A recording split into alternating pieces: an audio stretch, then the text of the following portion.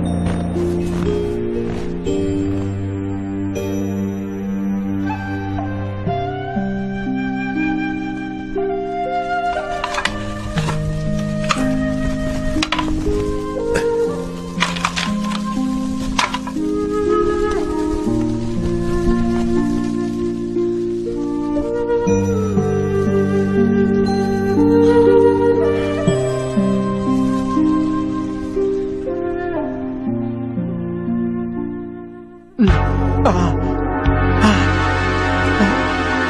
哦，天哪！我，这苦命的孤老头子造了什么孽？我的炭呐！我辛辛苦苦的砍了几天的木头，怎么就烧成灰儿了？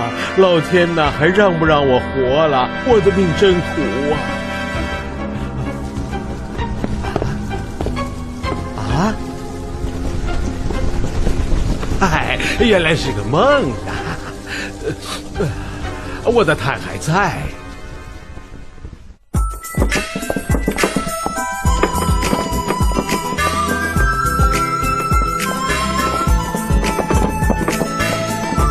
哎，站住，站住！说你呢？哦，大人，我车上拉的全是木炭，没有别的。啊，那就进去吧，进去吧。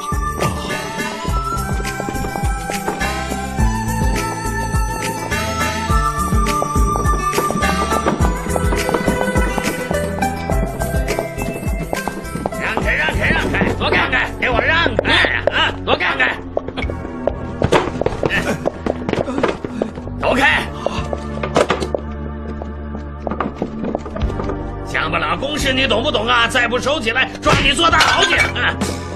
快滚！别挡我的路！啊！嗯，这些橘子不错，赶快都给我抬走！呃，拿过来！老爷不行啊，我一家老小还等着我买的吃饭呢。啊！哎 呀，你们大家看看，这是什么世道啊！兄弟，呃，算了吧，想开点吧。啊，怎么大白天就抢东西？难道这京城就没有王法了吗？兄弟啊，我看你是个外乡人，有所不知，这就叫公事啊。皇宫里的皇帝妃子也都是凡人，每天都要吃穿要用。过去他们的日用品都是由官府来东市、西市采购的，虽然给的价钱低，但毕竟还是给钱的呀。老百姓的日子还算过得去。那时的官差也不像现在这么凶。可是到了德宗贞元末年的时候，情形就不一样了，改成宦官出宫直接采办，也就是所谓的公事了。他们走到哪儿就抢到哪儿，只要说一声是公事，拿了就走，谁也不敢过问。有时他们还会扔下些用旧了的破烂家什算作报酬。所以每逢公使出来的时候，市场里就都关上门，不敢做生意了。公事公事，这还给不给咱们活路了？我一家老小就等着我拿钱回家过年呢。拿回家去买点米，好好团圆吧。啊，不行不行，我不能拿您的钱呐。拿着吧，反正我也是孤老头子一个，用不了这么多。这么冷的天，还有您这样的暖心人呢。哎，只要冻不死我这把老骨头，越冷越好啊！天儿一冷，我这车炭可就有指望了。呃，公事了啊！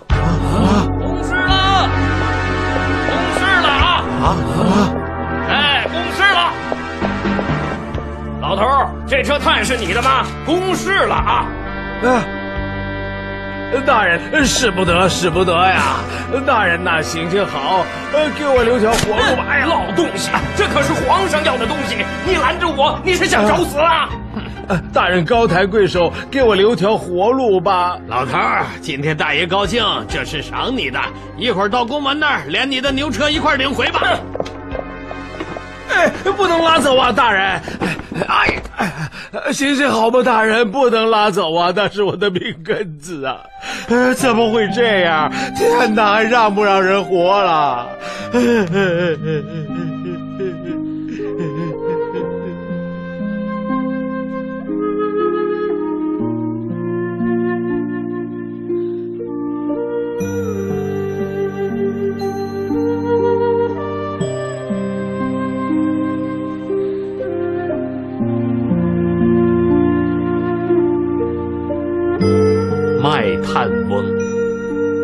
卖炭翁，伐薪烧炭南山中。满面尘灰烟火色，两鬓苍苍十指黑。